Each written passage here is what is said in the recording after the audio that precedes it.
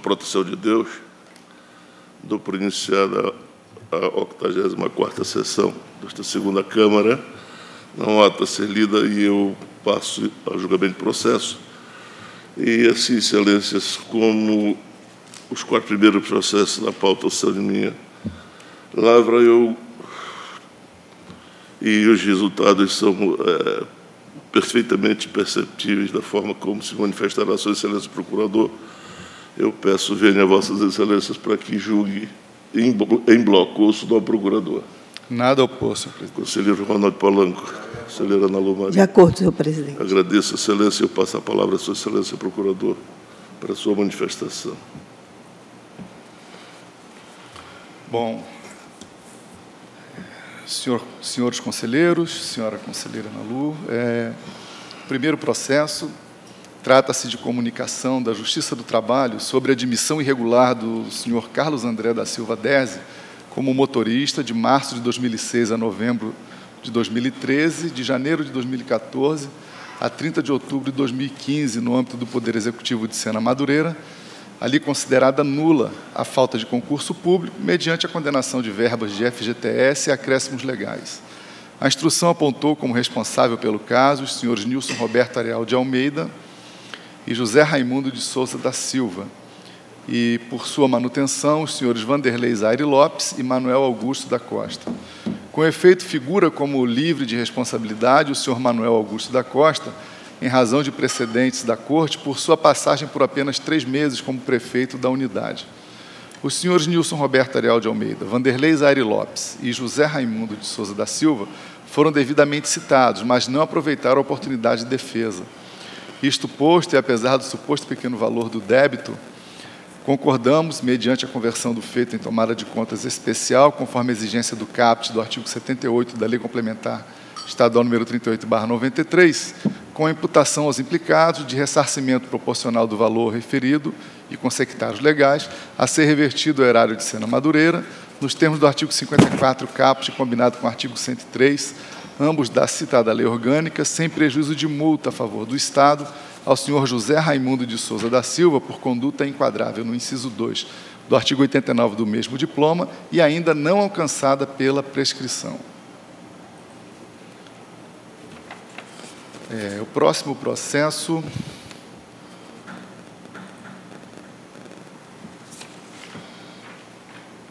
Que é a apuração de responsabilidade, né? Isso.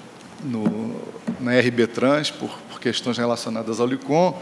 É, Pretende-se a responsabilidade do senhor Gabriel Cunha Fornec, então diretor-presidente da Superintendência Municipal de Transporte e Trânsito de Rio Branco, RB Trans, pelo descumprimento à resolução TCE número 97/2015, devido à falta de cadastramento tempestivo de 15 adesões a atas de registro de preços, duas dispensas de licitação e 25 contratos. Citado o gestor, sua resposta, segundo a análise, confirmou o atraso na providência. Isto posto, concordamos com a aplicação de multa a teor do inciso 2 do artigo 89 da Lei Complementar Estadual número 38/93.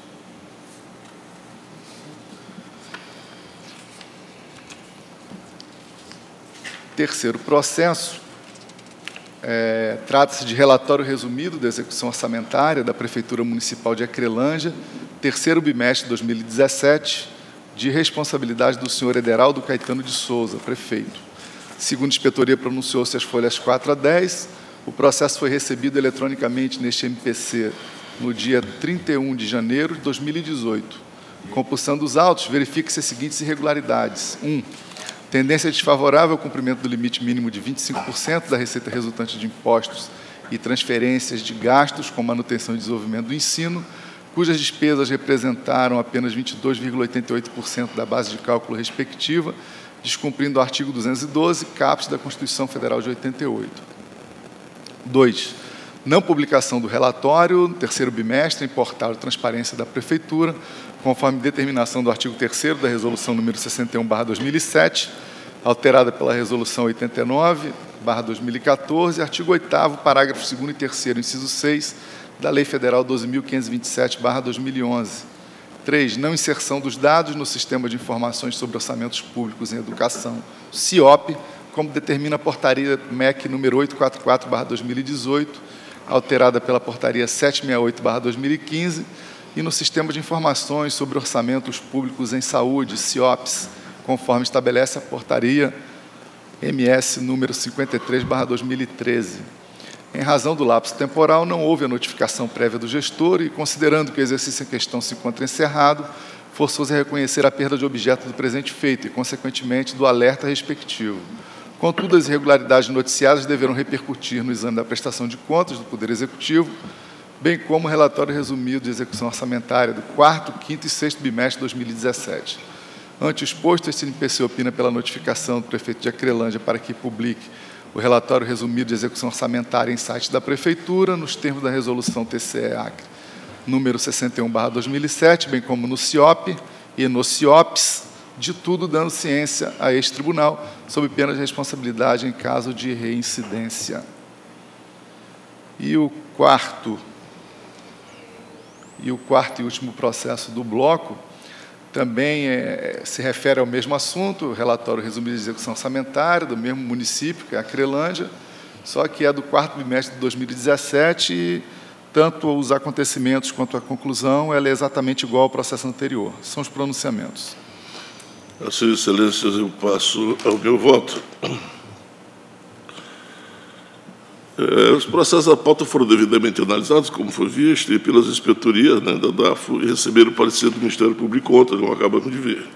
Então, no processo primeiro 24, 265, contratação irregular do senhor Carlos André da Silva Derze, é, resolvi por aplicar multa ao senhor Zé Raimundo de Souza da Silva, prefeito do município de Santa Madureira, pela manutenção à grave infração à norma legal no valor de 357 reais, nos termos da Lei Complementar 89-93, artigo 89, inciso 2, ainda, por ainda não ter sido alcançada a prescrição quinquenal.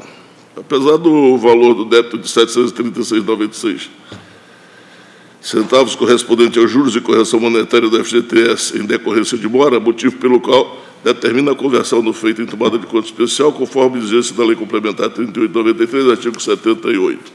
Capte, com a imputação aos senhores Nilson Roberto Areal de Almeida, Vanderlei Zairi Lopes, José Raimundo de Souza da Silva, prefeitos do município de Santa Madureira, Acre, nas épocas, do, é, do ressarcimento proporcional do valor referido e com sectários legais, a serem revertidos à horário do município de Santa Madureira, nos termos do artigo 54 caput da Lei 38/93, artigo 54 caput. Figura como livre de responsabilidade, neste caso, o senhor Manuel Augusto da Costa, por sua passagem por apenas três meses como prefeito da municipalidade, em razão de é, procedente, precedente da Corte. Quanto ao processo número 130.543 de 2018, resolvo aplicar multa ao senhor Gabriel Cunha Fornec, diretor-presidente da Superintendência de Transporte e Trânsito, Trans, à época, pela grave infração não cumprimento da resolução TCE número 97 de 2015, artigo 5 no valor de R$ 3.570, nos termos da Lei Complementar Estadual 3893, artigo 89, 2, e com assento regimental TCA CRI 01-2000, para recolhimento aos, casos, aos cofres do Estado no valor de 30 dias após a notificação deste, de tudo dando ciência a este tribunal. Quanto aos processos número 125, 339 e 126.034,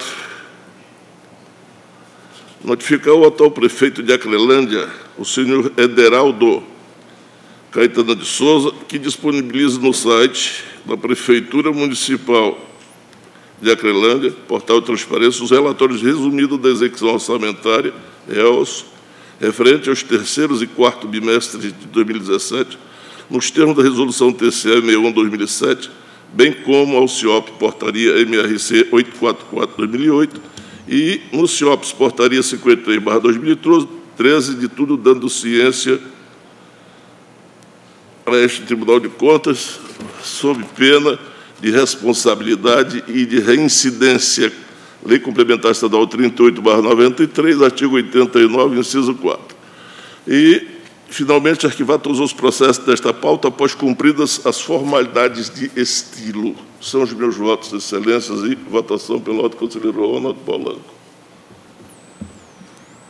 Senhor presidente, eu, no primeiro voto, eu apenas aplico a multa dos 357 reais, aos gestores e não acompanho o seu entendimento sobre a devolução dos 700 e poucos reais. Com relação aos outros votos, acompanho o seu entendimento. Muito obrigado, conselheira Ana Lu Maria. Eu, eu acho que, que o, voto, o voto foi 357, a multa. A mu- Só a devolução, né? Só a devolução que eu não. É. Mas a, a, foi Bastante questão de fundo de 357. garantia, os outros É. infração. Eu voto também é, é, com o senhor, é, divergindo só a questão da devolução.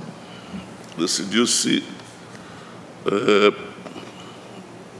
por maioria nos termos do voto do conselheiro relator, divergindo quanto ao multa do Fundo de Garantias, conselheiro Ronald Polanco e Nalu Maria. Muito obrigado e prossigo agora com a palavra, conselheiro Ronald Polanco, com o processo... Não, meu, são quatro. Já votei todos eles. Acompanhado. Só teve essa divergência da multa. Só. Não, não da multa, só da devolução. Tudo da É, devolução, foi a devolução, da dos FGTS. 700 e pouco. É, exatamente. É. É, exatamente. Assim sendo, Excelência, com o processo número 5 da pauta, com a palavra o conselheiro Ronald Polanco. Senhor presidente, nobre procurador, conselheira Nalu, é, amiga Érica, é, da mesma forma, eu solicito em, em julgamento em bloco os processos da ordem da pauta de 5 a 11.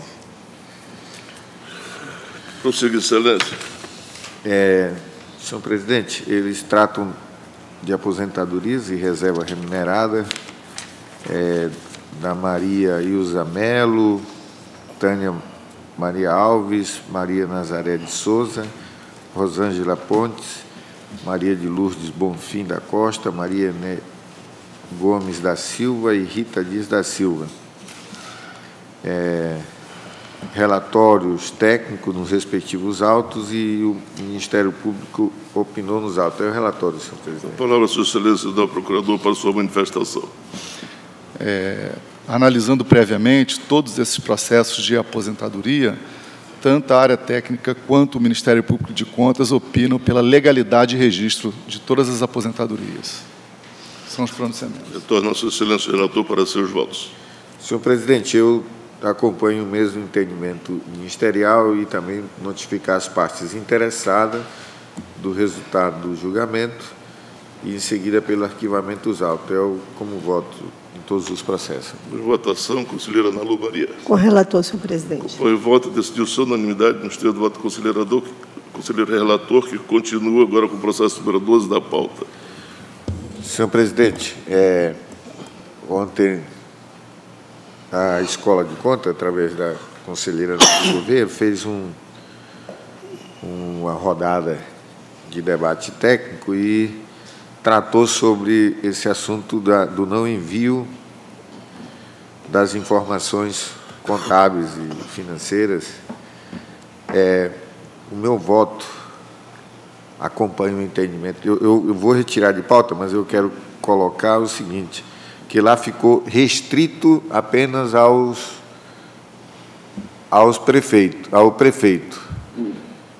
E como no nosso entendimento lá no, na hora eu, eu tinha saído, conselheira, não foi discutido a inclusão do contador.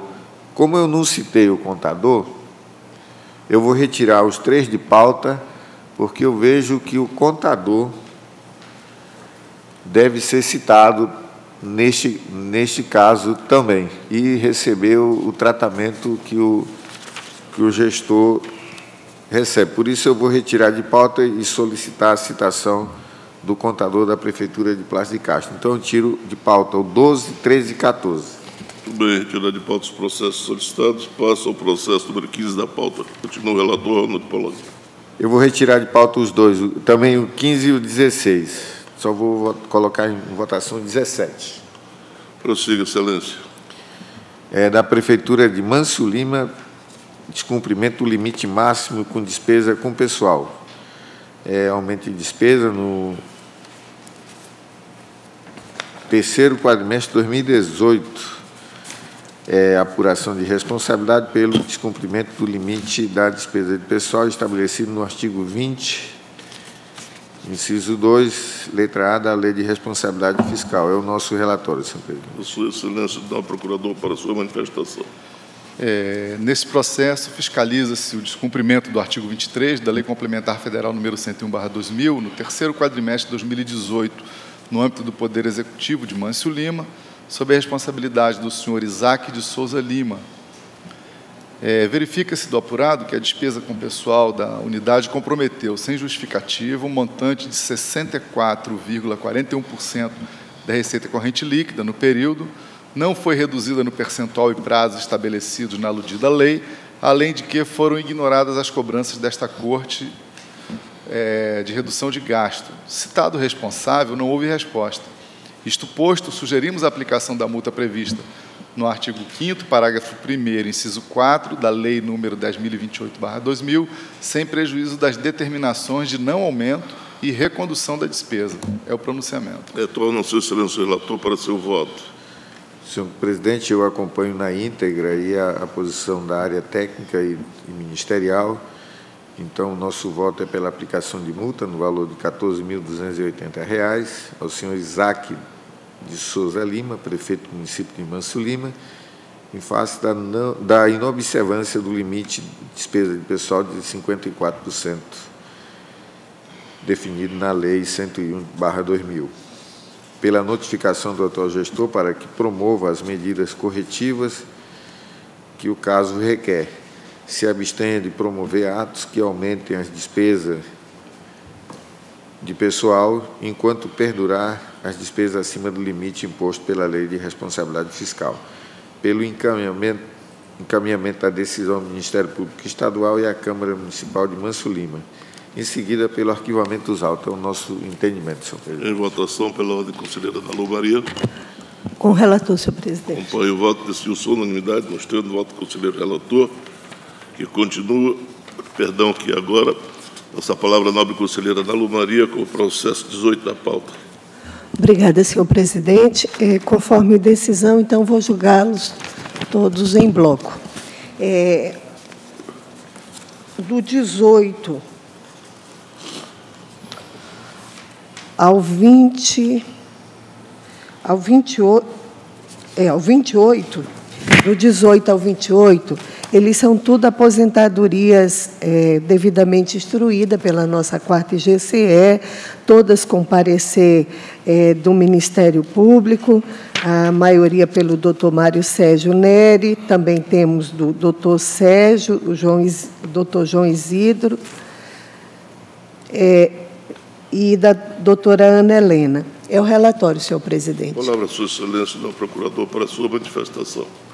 É, neste bloco também opinamos pela legalidade e registro de todas as aposentadorias, já previamente analisadas pelo Ministério Público de Contas. Retorna, Sua Excelência, a relatora para seus votos. Sendo assim, senhor presidente, voto pela legalidade e registro das aposentadorias, notificação das servidoras e servidores para tomar conhecimento dessas decisões e caminhamento de cópia do processo ao Instituto de Previdência do Estado do Acre Instituto de Previdência do município de Rio Branco, é, para as providências cabíveis e, após as formalidades de estilo, pelo arquivamento dos autos. São os votos, senhor presidente. Em votação pela ordem do conselheiro Ronald Polanco. Acompanho o voto. Foi o voto, decidiu-se a unanimidade, nos termos do voto da conselheira relatora, que continua agora com o processo 29. 29.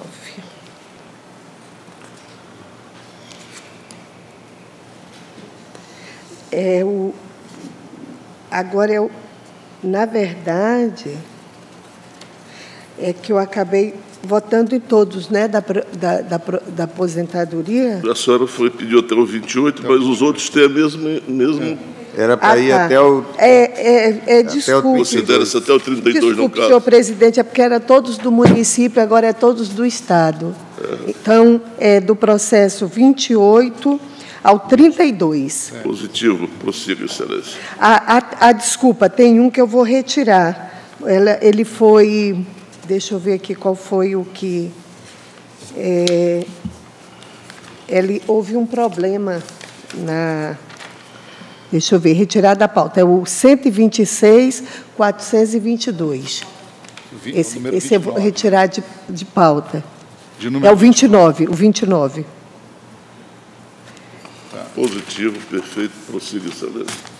Então, é, é, aquelas primeiras aposentadorias foram tudo do município, agora são aposentadorias do Estado, devidamente também instruída até a, a, a 30, e- a, o, o 31 do Dois. 20, 32, correto. 32, é, a maioria do- do- do- do- dos pareceres são do doutor João Isidro, mas também do doutor Mário Sérgio Nery e da doutora Ana Helena. São os relatórios, senhor presidente. Palavra, seu silêncio, procurador, para a sua manifestação. É, da mesma forma, o Ministério Público de Contas opina pela legalidade e registros de todos os processos desse bloco. Sua excelência, relatora, para seus votos. Da mesma forma, senhor presidente, pela, voto pela legalidade e registro das aposentadorias, notificação das servidoras e servidores para tomar conhecimento dessas decisões, encaminhamento de cópia do processo ao Instituto de Previdência do Estado do Acre, a Previdência, após as formalidades de estilo, pelo arquivamento dos autos, são os votos. Em votação pela ordem, conselheiro Ronaldo Polanco. Acompanhe o voto, presidente. O pai voto decidiu-se a unanimidade nos do voto da conselheira relatora, que continua agora com o processo 33 da pauta. Obrigada, senhor presidente. É, esse processo é da Câmara Municipal de Porto Walter, apurar responsabilidade em face do não envio ou envio intempestivo das remessas das informações contábil, financeira, orçamentária e patrimoniais referente ao quarto bimestre de 2019, em descumprimento à resolução 87. É, o Ministério Público ele dá seu parecer da lavra do doutor João Isidro de Melo Neto, as folhas 22 e 23 é o relatório, senhor presidente. Retorna sua excelência do novo procurador para a sua manifestação.